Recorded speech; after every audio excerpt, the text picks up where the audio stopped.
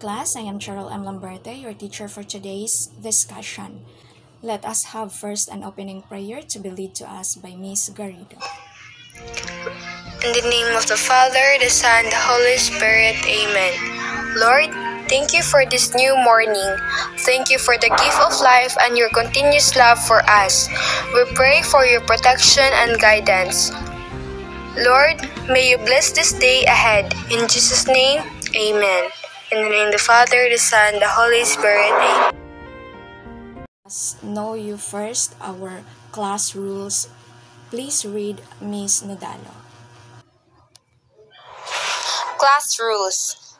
Pay attention to the class. Raise your virtual hands if you are, if you want to answer. Mute your mic when not in use.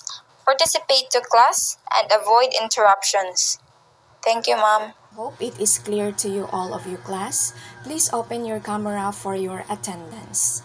Okay, thank you. Let us have first an activity. Please raise your hands or virtual hands to answer the following words. John, please complete the words as shown in the presentation. Number 1, Banzon. Sales. Number 2, Nodalo. Number two, Number input. Number 3, Tanyo.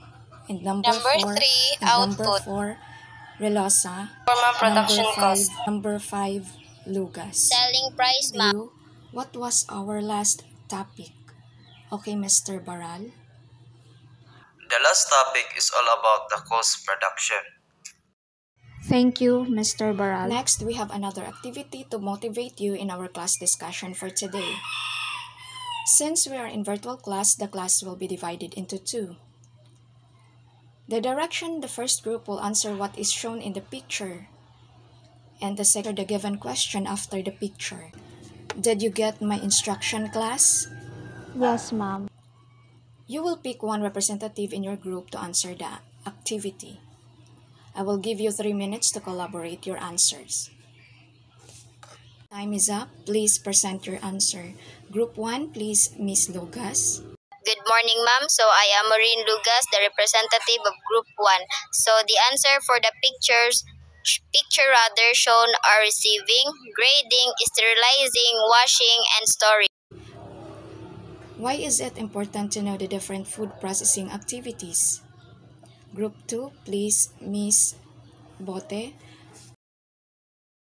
Good morning, ma'am. I am Rosanna Bote and I am the representative from Group 2. So, it is important to know the different food processing activities because it helps us understand how our food is produced, packaged, and preserved. This knowledge can help us make better informed decisions when it comes to choosing what we eat. Additionally, different food processing techniques can affect the nutritional content, safety, and quality of our food. Some processing methods can remove important nutrients, while others can add harmful ingredients. Knowing the different techniques also helps us understand how to store and prepare our food properly to ensure its safety and maintain its quality.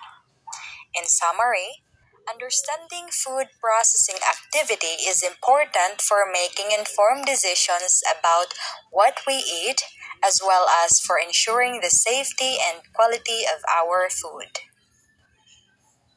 That's all, ma'am. Thank you.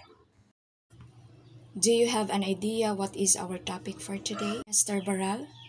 The topic is all about interpret a layout plan in a fish processing. Thank you, Mr. Baral.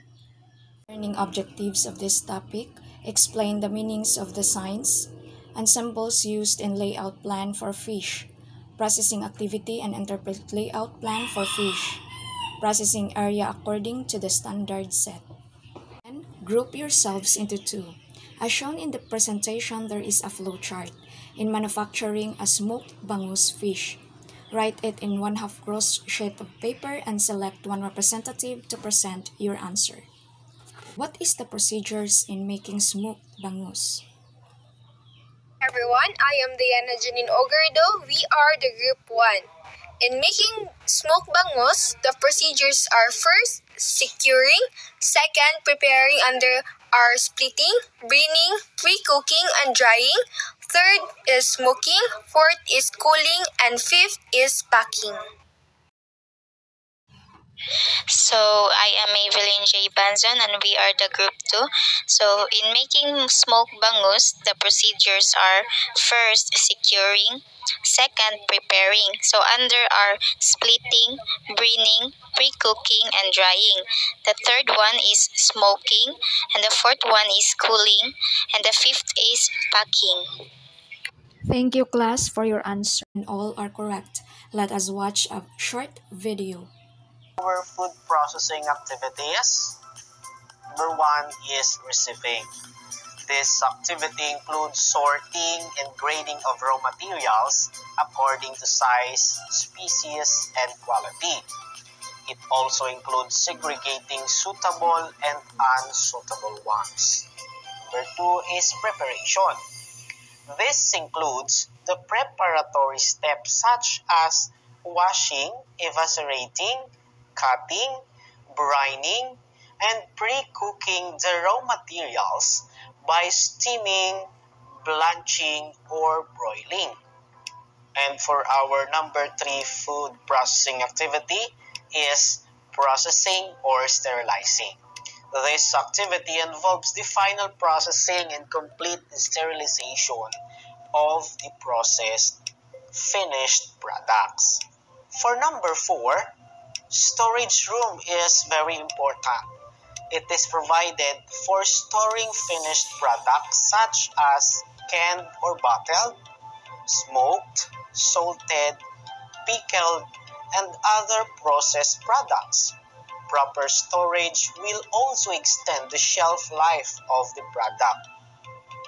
And this food processing activity is what we call storing.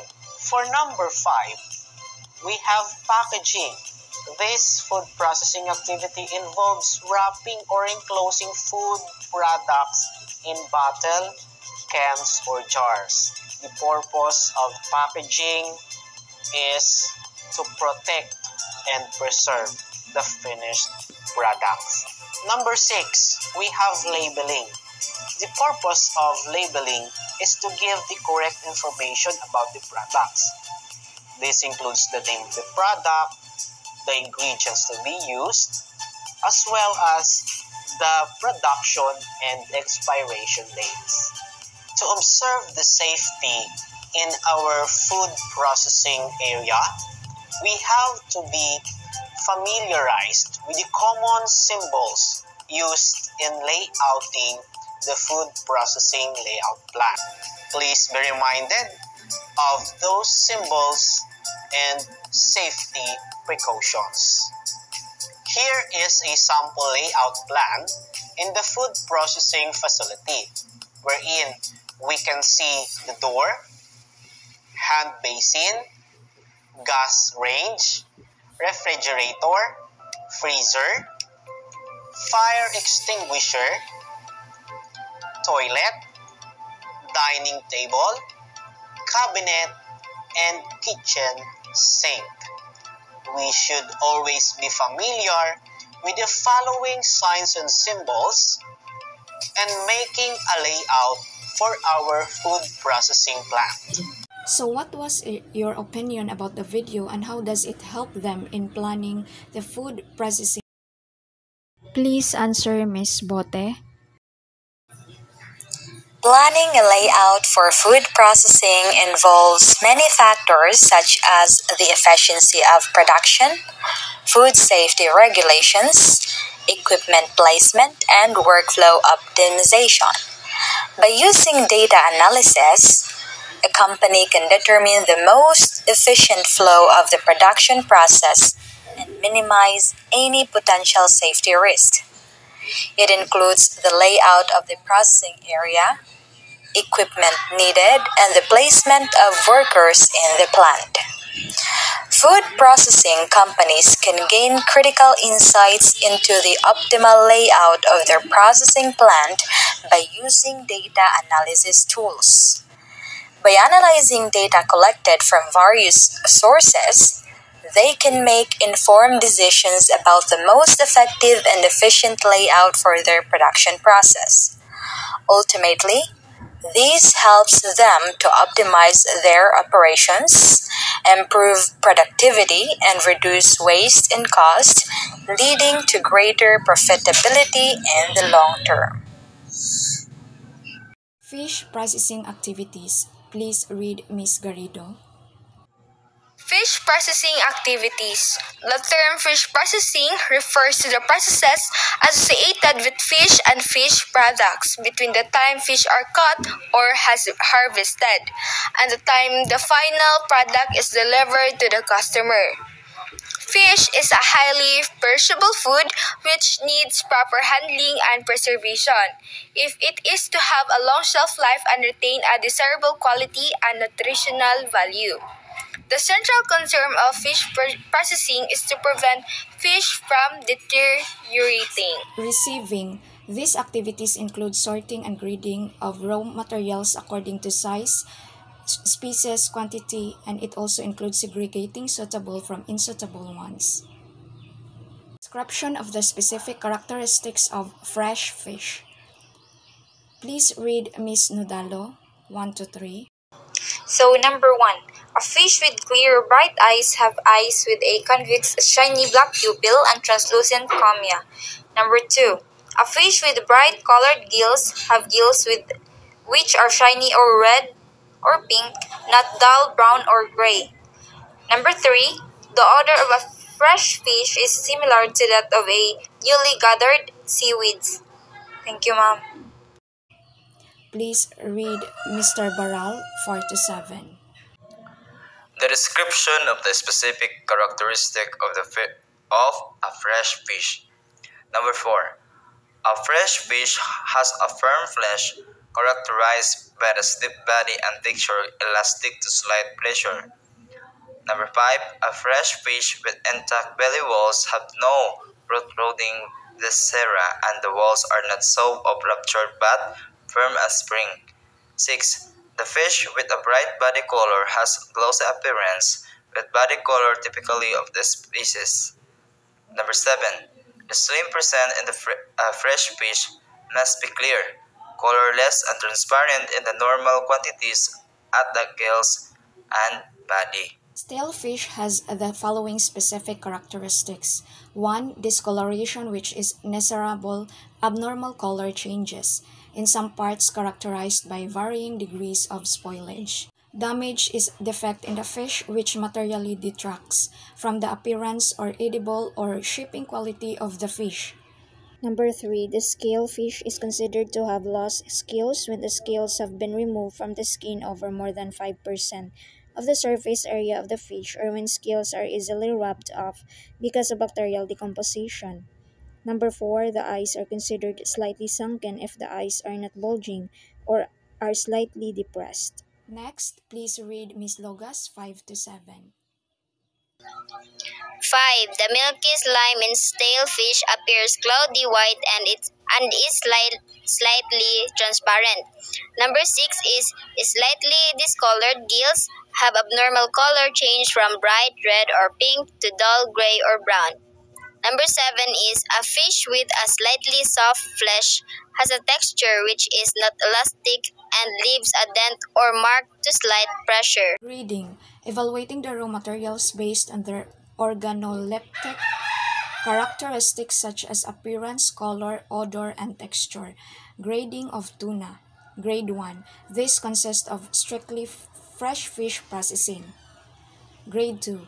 This consists of chilled or frozen, quick or sharp fish which failed to meet the requirements for grade 1. Grade 3. This consists of fish which failed to meet the requirements of grade 1 and 2. Off grade.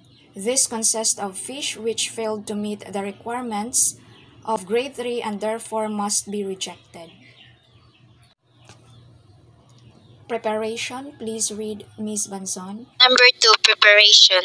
So this includes the preparatory steps such as scaling, eviscerating, washing, cutting, brining, and pre-cooking the fish by steaming, blanching, or broiling. So the steps in cleaning fresh fish, first one is scaling using knife, metal scaler, electric scaler. Second is eviscerating or gutting. So this means the removal of the internal organs, viscera, or guts through the operculum. The third one is washing. So fish are washed using running water from a faucet. Processing sterilizing. This activity involves the final processing and complete sterilization of the processed finished product. Storing. Storage room is provided for storing finished products such as canned, bottled fish, smoked fish, salted fish, pickled fish, and other processed fishery products. Proper storage will also extend the shelf life of the product. Packing and labeling, please read Ms. Tanyo. Packaging. This processing activity involves the wrapping or enclosing food and fish products in bottles or in cans for the purpose of protecting and preserving the finished products. Number 6. Labeling. So, the purpose of this activity is to give the correct information about the product.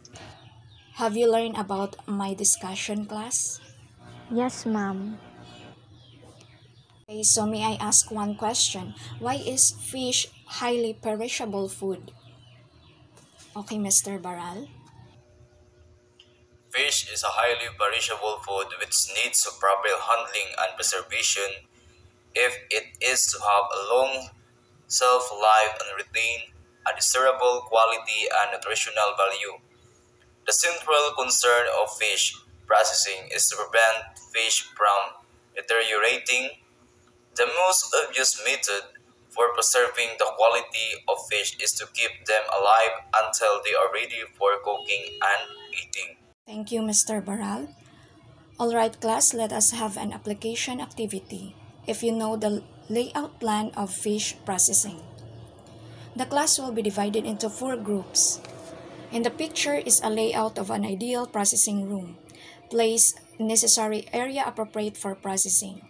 Write in a one short bond paper. Each group label the layout.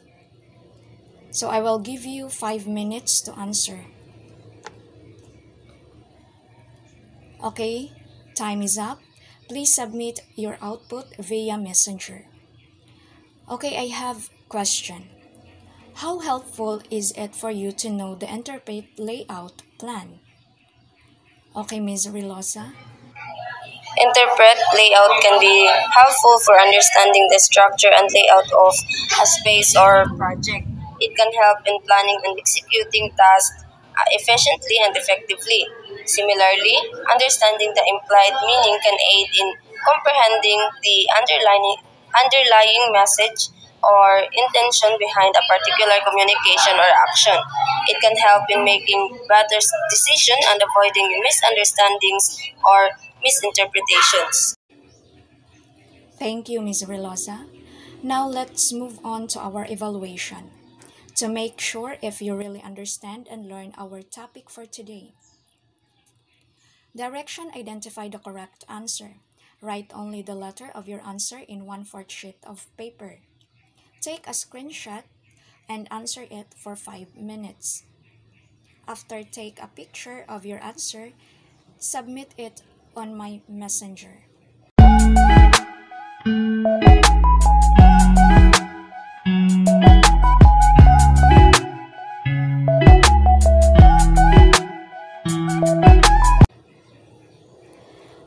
For your assignment, take a screenshot of the picture shown and answer the following question with your own.